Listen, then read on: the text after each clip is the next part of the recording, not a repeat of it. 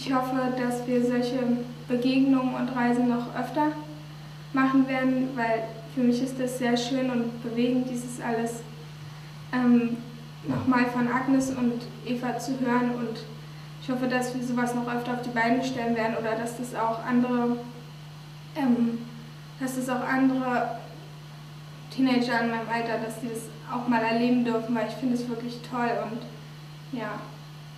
Und als du dich gemeldet hast, wusstest du, was passieren wird? Nein. Wir haben schon gehört von Auschwitz und von Gaskammer. Und ich habe gesagt, das kann nicht wahr sein. Menschen können so etwas nicht beibringen. Und jetzt sind noch immer Leute, die sagen, dass es nicht wahr ist. Ich glaube, in Deutschland gibt es auch. Mhm.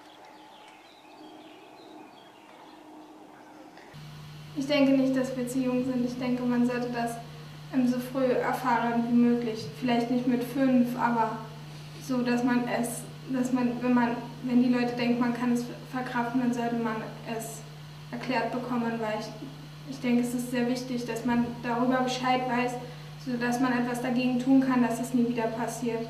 Weil wenn darüber nicht gesprochen wird in der Öffentlichkeit, dann ist die Gefahr größer, dass so etwas nochmal passiert und das wäre sehr schlimm.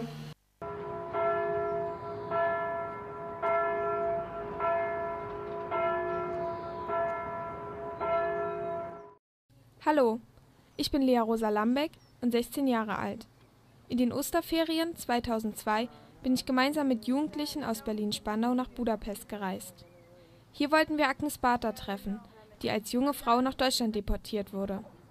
Glücklicherweise hat sie Zwangsarbeit und Konzentrationslager überlebt, sodass wir sie an die Orte ihrer Kindheit und Jugend und an Städten der Verschleppung begleiten können. Während dieser Reise war mir noch nicht klar, dass die Geschehnisse des Zweiten Weltkrieges mich noch so lange beschäftigen und ich weiterhin an diesem Projekt beteiligt bin. Also lade ich euch ein, gemeinsam mit uns und Agnes mehr über ihre Lebensgeschichte und über die Judenverfolgung in Ungarn zu erfahren. Ich war ein Einwohner am Lande, nicht in Budapest damals. Im Lande wohnten in Ungarn ungefähr 500.000 Juden. Die sind auch wir inbegriffen, also meine Familie, im Jahre und im Monat 1944 äh, bis 4. Juli deportiert worden und nach Auschwitz-Birkenau geliefert worden, transportiert worden. Dort sind die Leute meistens sofort vergast worden.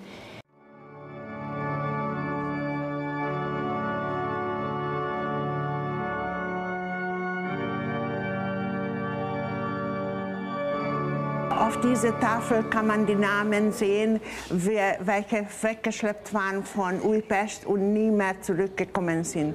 Und der, also der Herr Rabbiner hat drinnen erzählt, dass die Jugend liegt hier in diesen Tafel, weil sie sind nicht zurückgekommen und konnten nicht Familie äh, wieder bilden.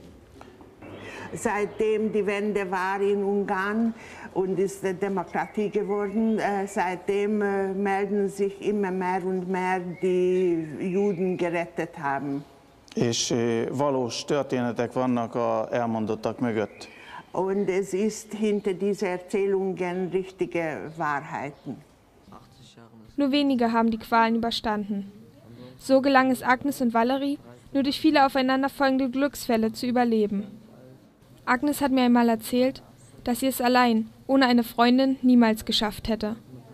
Doch zum Glück hatte Agnes eine Freundin, Edi Kisch, die in Ungarn vor der Deportation eine anerkannte Bildhauerin war. Sie schuf nach ihrer Rückkehr aus dem KZ die vier Reliefs, die sich an der Außenmauer der Synagoge von Ulpesch befinden. Sie zeigen uns den Verlauf der Deportation vom Marsch entlang der Donau, der Zwangsarbeit bis hin zu den Gaskammern und der Befreiung. Konzentraciós tábor.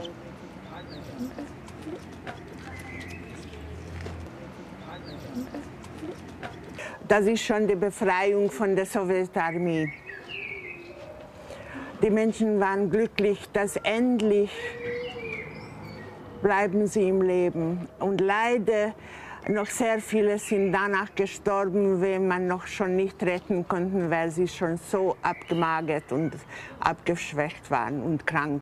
Solche Begegnungen sind natürlich auch für Agnes sehr wichtig und etwas ganz Besonderes.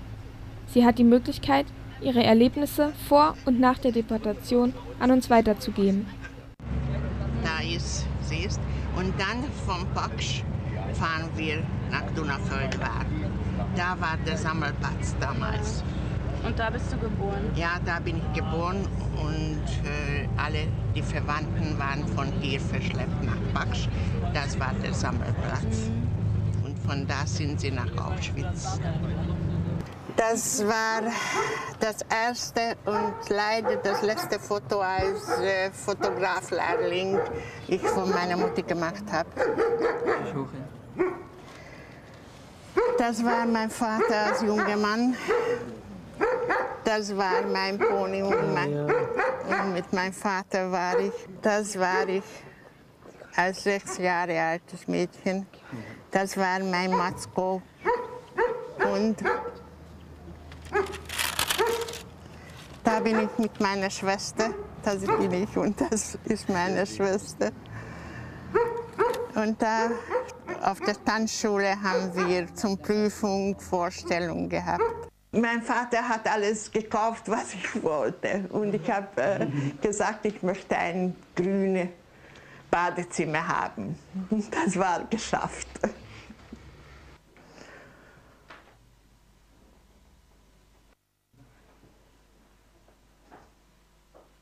Das Wiedersehen mit den grünen Kacheln löste bei Agnes viele Emotionen aus.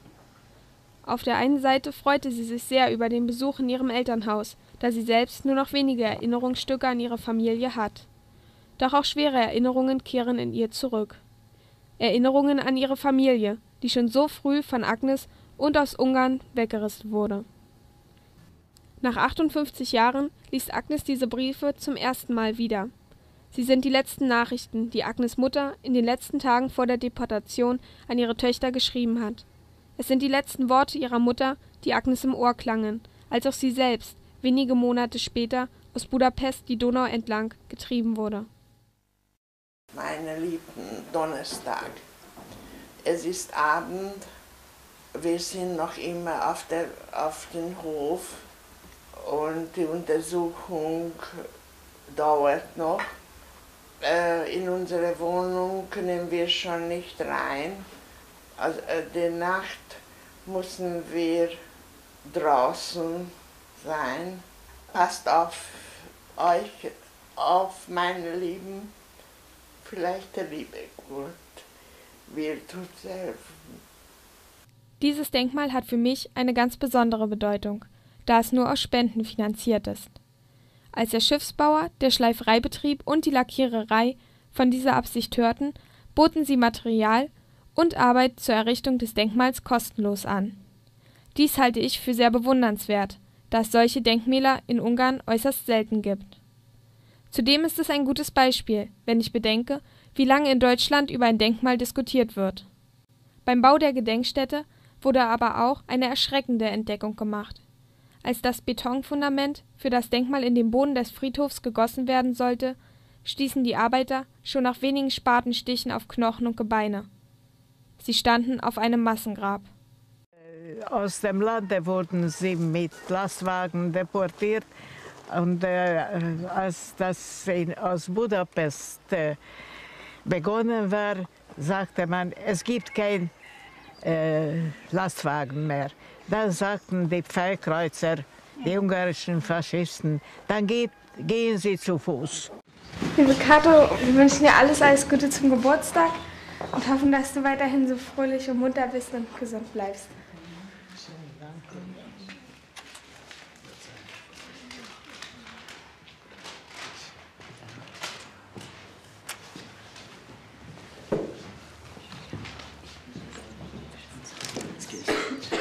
Karte, ich habe eine kleine Rede für dich vorbereitet.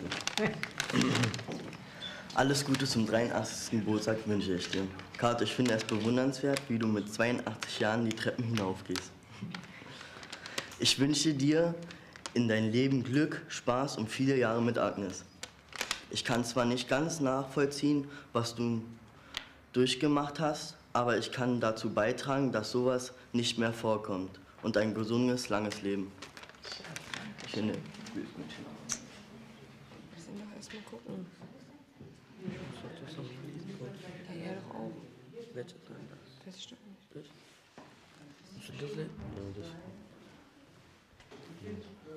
Du hast nur kurz den Finger gedreht.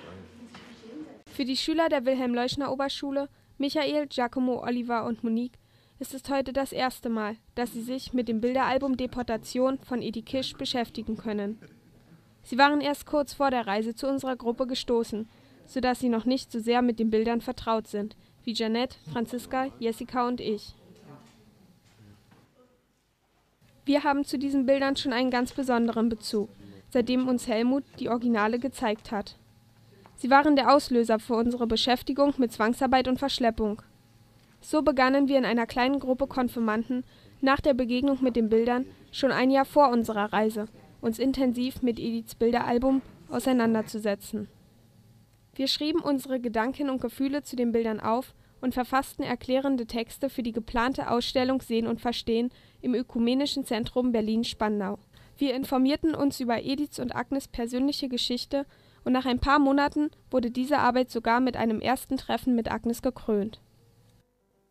Dieses Bild zeigt Agnes und Edith. Beide sind knochig und dünn. In ihren Augen ist kaum noch ein Funken Hoffnung auf Rettung. Beide haben zudem schon weiße Haare, da der Körper unter solchen Bedingungen besonders schnell altert und leidet. Es drückt auch aus, dass diese Zeit Agnes und Edith besonders lang vorkam. Die Freundschaft war das sehr wichtig, nicht so allein zu sein.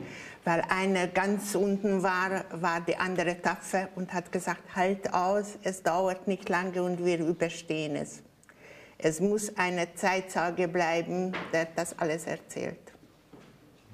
Die Frau sieht sehr erschöpft und müde aus.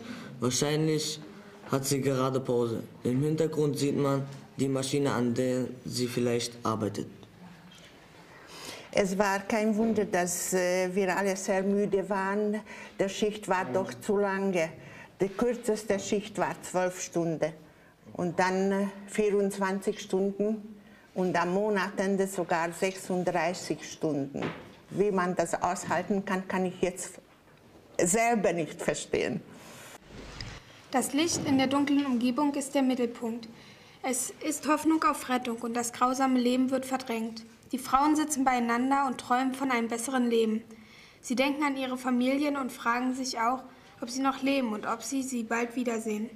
Weihnachten. Dieses Bild ist wie ein Ruhepunkt, an dem jeder Zeit für sich hat und Platz für die Hoffnung, denn die Hoffnung geht als letztes.